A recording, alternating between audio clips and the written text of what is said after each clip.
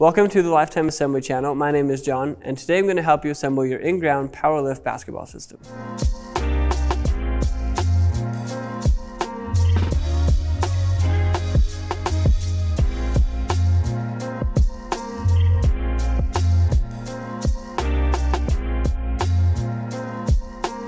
This video will follow the steps outlined in your assembly manual that comes with your basketball system. If you've already begun and need help on a specific step, check the comments or description below for a timestamp associated with each step. Now let's take a look at what's inside the box.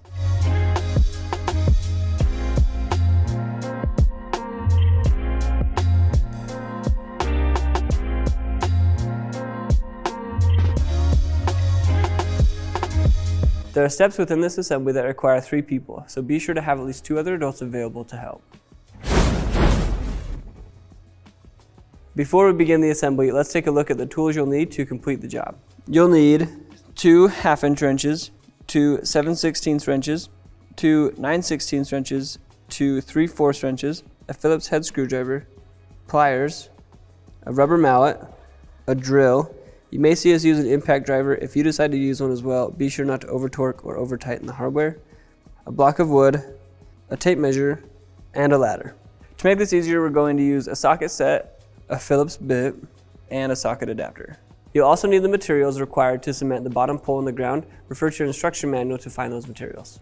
It's crucial that you refer to your assembly manual to review the safety instructions for this build to prevent serious injury or property damage. All right, let's get started.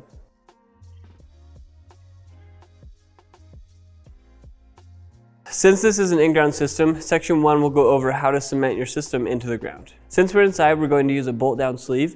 The pole you're going to need has a dimpled end. It's crucial that you refer to section one to see how to properly cement your pole in the ground.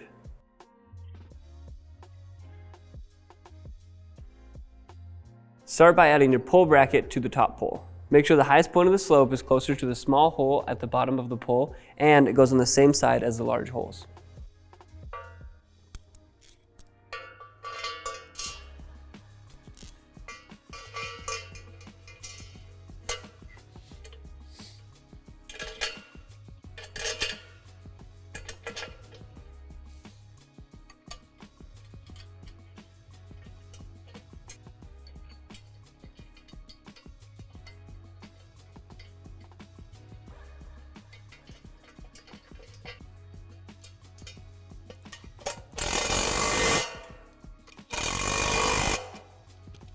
Now slide the top pole onto the middle pole, making sure that this hole lines up with the slot at the top of the middle pole.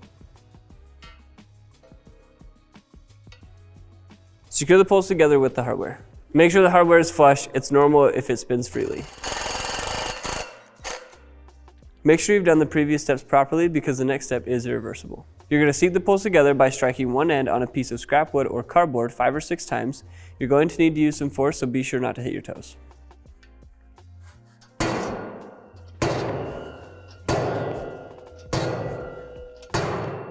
It's crucial that you seat the poles together, otherwise they can separate during use and cause serious injury or property damage. Now secure the poles together with the hardware. The screw is designed to go through the metal in the underlying pole.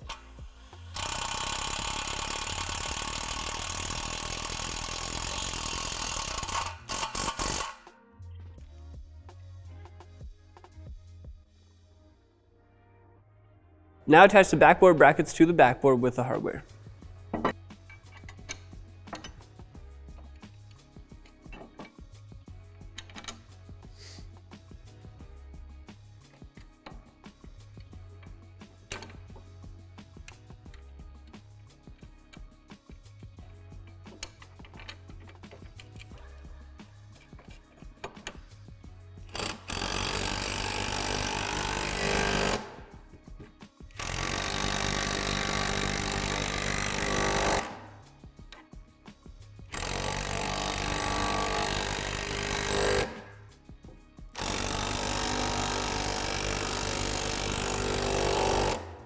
Now place the carriage bolt into these square holes on the rim pivot bracket.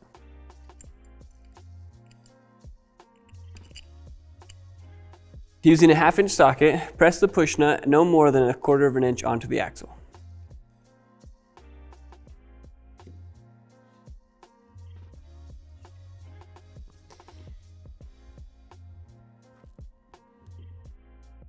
If you go too far, keep pushing the push nut until it's off the axle and then try again. Align the holes in the rim pivot bracket with the holes in the rim and then slide your axle through.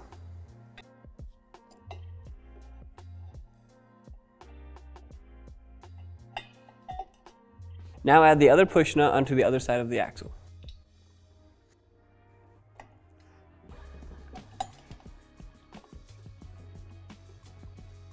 Now slide the U-bolt into the U-bolt bracket, then slide it into the top holes on the back of the backboard. On the front of the backboard, add your plastic guard and your rim, making sure that all the bolts line up with the holes.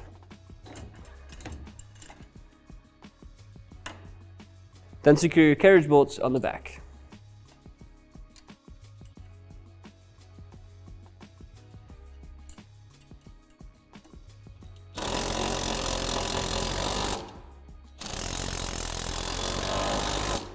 Now add your jam nuts onto the U-bolt, making sure to thread them all the way down.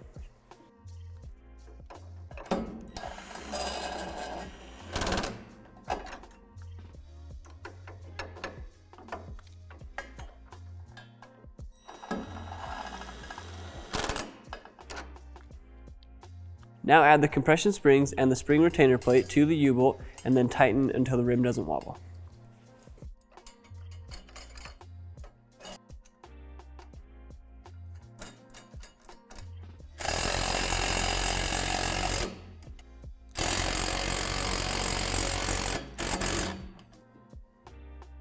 Now add the cover plate with the hardware.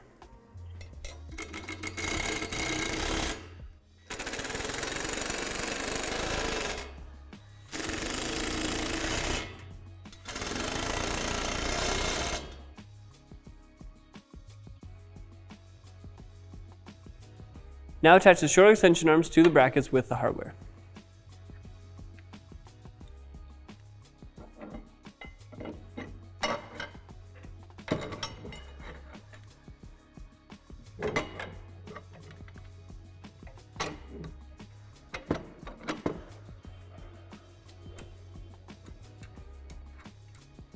It's normal if the hardware is difficult to tighten because the nut is a center locking nut. Just make sure to tighten until the bolt is flush with the nut. Attach the long extension arms to the backboard, making sure that the two holes are at the top.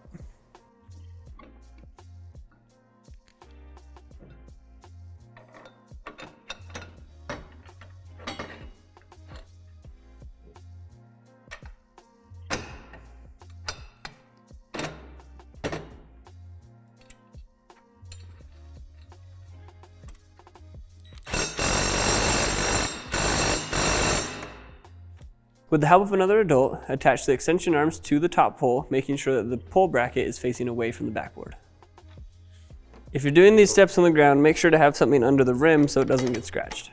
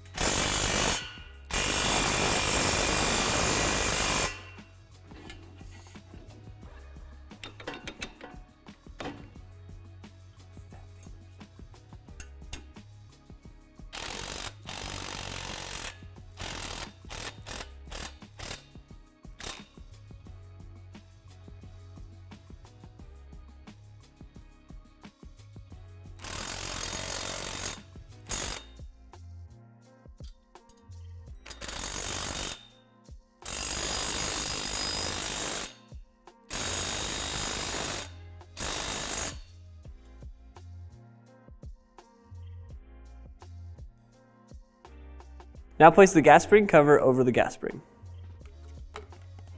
Now attach the gas spring to the pole bracket, making sure that the holes line up.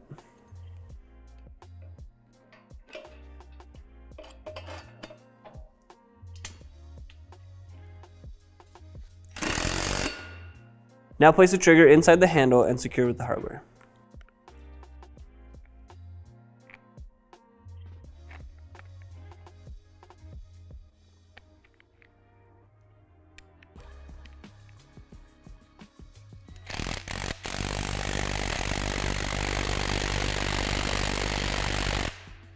Insert the release pin into the oblong hole in the gas spring. Now add your handle to the gas spring, making sure that the release pin rests in these notches. Then add your lifter arms and secure with the hardware.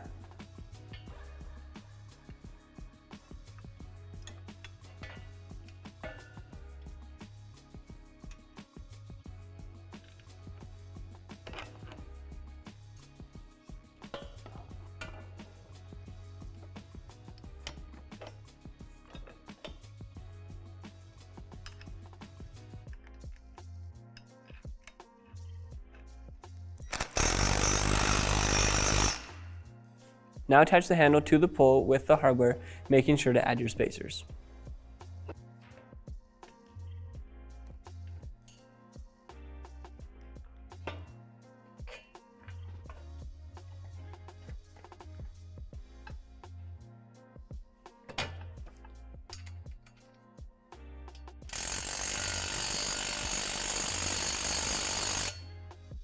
Attach the lifter arms to the lower extension arms.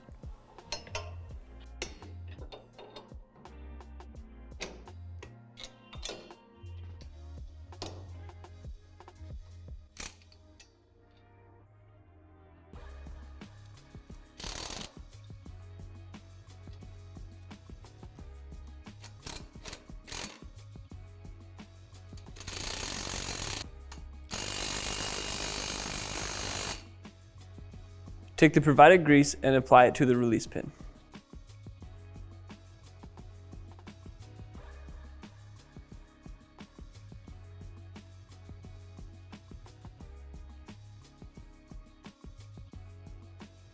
Remove the plastic film from the backboard.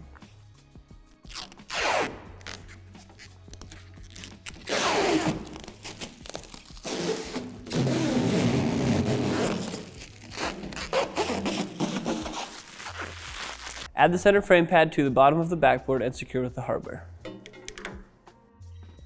You will be drilling through the frame, so make sure that your drill is fully charged and on the highest torque setting.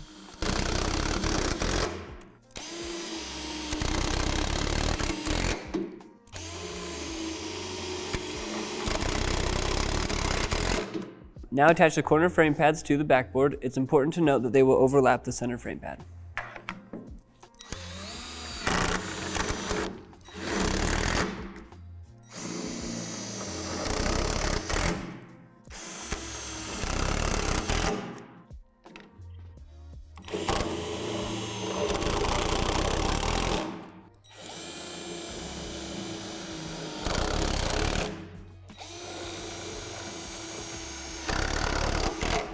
Make sure you've done all the previous steps correctly, otherwise you'll have to call customer service to get replacement poles. Before moving on to the next step, a helpful tip would be to compress the spring with the help of another person.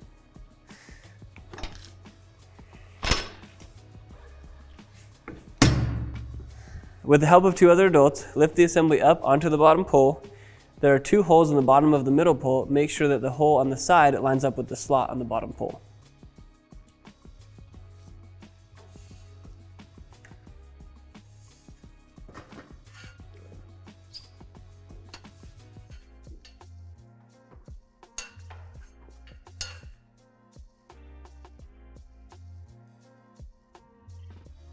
Secure the two poles together through the hole on the side with the hardware.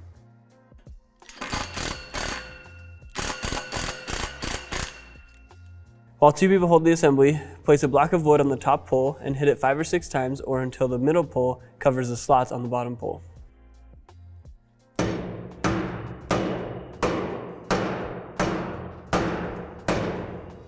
It's crucial that you seat your poles together, otherwise they can separate during use and cause serious injury or property damage.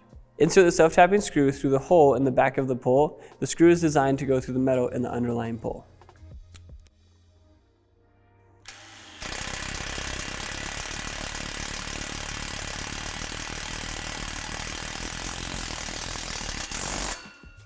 Now place your pole cap at the top of the pole.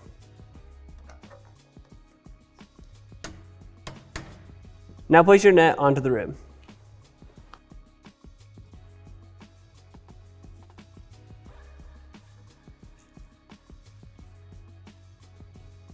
With the help of another person, lift the system up until the rim measures 10 feet from the plane surface.